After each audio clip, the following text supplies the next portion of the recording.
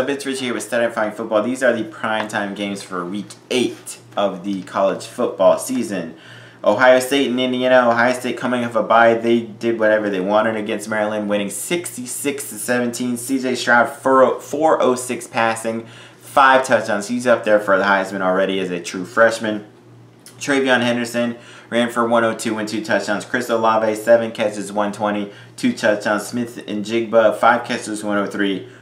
It 598 yards of offense, defensively five sacks, and had an interception return for a touchdown. Indiana, they lost a close game to Michigan State 20 to 15. Jack Tuttle, 188, two interceptions, a turnover three times. I don't think it's going to be close. Ohio State looks like a national title contender now. I think they got their whole team rolling and should go through that game.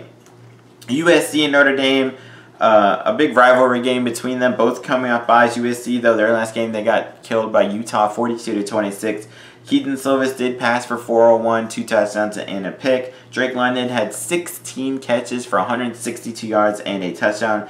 Kana'i Mauga, 11 tackles and two tackles for loss for him. Notre Dame, their last game was a come from behind win against Virginia Tech, 32 to 29. Jack Coan, one oh away passing a touchdown. He got injured. Tyler Buchner came in, was 6 of 14 for 113, one touchdown. He did throw two interceptions and ran for 67 yards and a touchdown. J.D. Bertrand, 10 tackles and a half tackle for loss. I think Notre Dame's way overrated, but USC, uh, they fired their coach a few weeks ago. They're kind of struggling this year. I still kind of want to go with USC. I think Notre Dame is not that good of a team. I'll go with Notre Dame just because USC has a lot of trouble, but I'm putting Notre Dame on big, big upset alert there. All right, South Carolina, Texas A&M. South Carolina came back late to beat Vanderbilt 21 and 20. Luke Doty 242 passing, two touchdowns, two interceptions. He got hurt late. Zeb Noland, their grad assistant, he came in, passed for 75 yards and the winning touchdown late. Jaheim Bell six catches, 136 yards yards and a touchdown. Fortunately, their four turnovers did not hurt them in that game. If, do, if they do that against Texas A&M, they will get destroyed. They may anyway. Texas A&M I had a nice game against Missouri, 35 to 14. Zach Calzada, 148, two touchdowns and a pick. But this was about the running game for A&M. Isaiah Spiller ran for 168 yards and a touchdown. Devon Achane ran for 124 yards and two touchdowns in that one. I think South Carolina they have a better defense than Missouri, but their offense won't be able to quite keep up with uh, A&M. And A&M I still think is overrated. I still think they should lose a couple more games. I don't think this is one of them, though. I'll put them on a slight upset alert, but I'm going to say A&M uh, wins.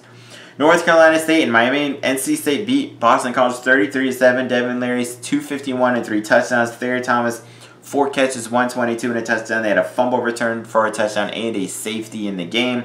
Miami almost came back to beat North Carolina. They threw a tip pick late at, at North Carolina's like 10-yard line. That was 45 to 42. Tyler Van Dyke, 264 passing and touchdown, but he did throw three interceptions. Ran for 36 yards at a team. Jaylan Knighton had a great game, 92 rushing yards and a bunch of receiving yards and three total touchdowns. Defensively, they had four sacks and had a pick six in that game. Miami, they're better than their 2 and 4 record. If Van Dyke can stop turning over, I think they may be able to, upset a number 18 ranked NC State. I'll side with NC State, but I'm putting them on upset alert for sure. Georgia Tech and Virginia. Georgia Tech coming off a bye. Their last game was uh, 31 to 27 win against Duke. Jeff Sims, 297 passing, three touchdown passes, two interceptions, plus 55 rushing yards and a touchdown.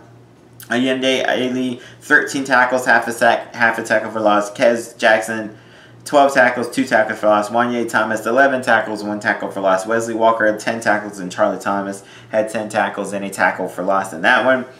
UVA they destroyed Duke in this past game, 48 to nothing. Brennan Armstrong 364 passing, two touchdowns, 34 rushing yards and a touchdown. Dontayvion Wicks seven catches, 125 and a touchdown. They had 528 total yards, four uh, four turnovers defensively. Nick Jackson 11 tackles, a sack, and four tackles for loss in that game.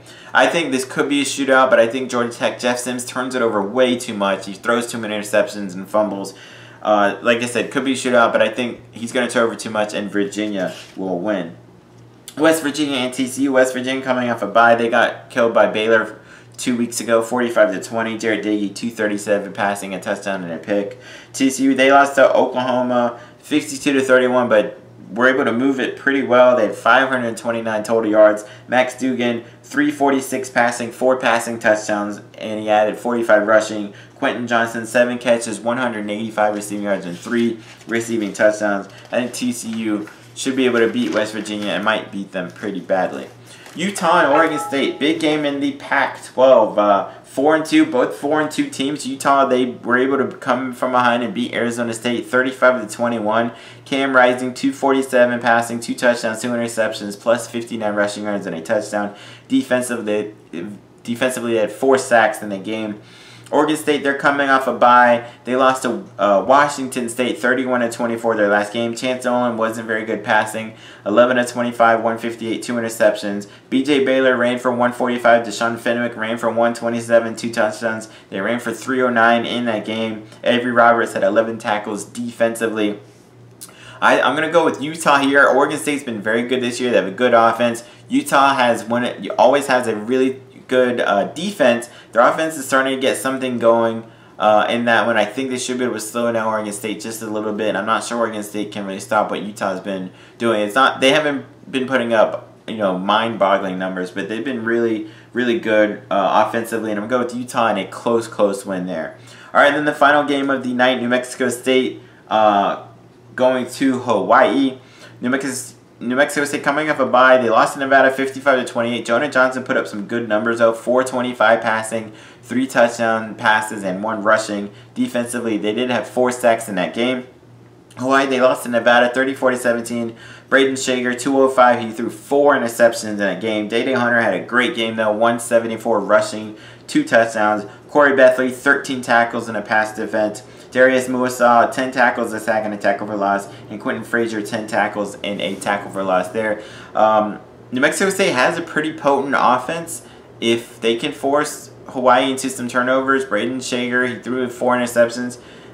They should Hawaii should not take New Mexico State lightly with that offense. That being said, I do think Hawaii should be able to escape uh, with a win there. So those are my picks for our prime time. Check out my other videos later. Peace.